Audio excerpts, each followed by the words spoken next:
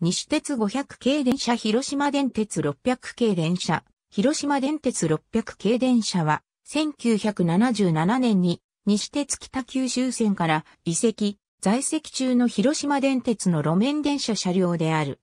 西鉄北九州線時代は、北九州線500系電車を、初代600型については、広島電鉄600系電車を参照のこと。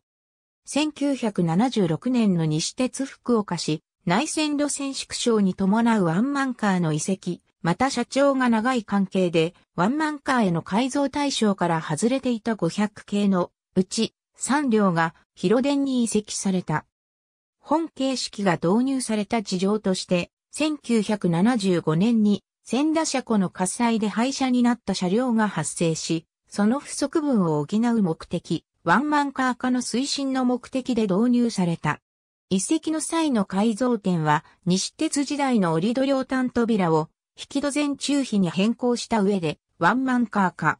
細部は、正面中央窓の固定、ライト取り替えなど行われている。改造内容は他の形式と比較して相当多い。塗装は西鉄北九州線色と一般には言われているが、入線時はむしろ旧大阪市電色に近いような色で、明らかに西鉄色とは異なっていた。1983年に601が交通事故に巻き込まれ、同年の10月に廃車され603が601に改版。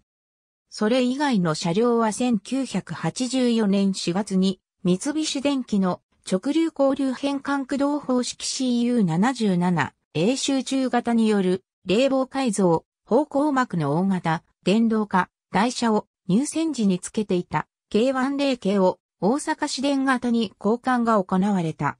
その後も運用されたが、601は不具合が多く、乗務員から不評で2001年に廃車。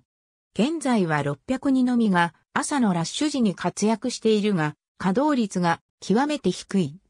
一説には、車体前後が絞られているため、他形式に比べ後方監視に支障があると言われている。旧型各形式の淘汰が進む中、残る一両についても同行が注目されている。ありがとうございます。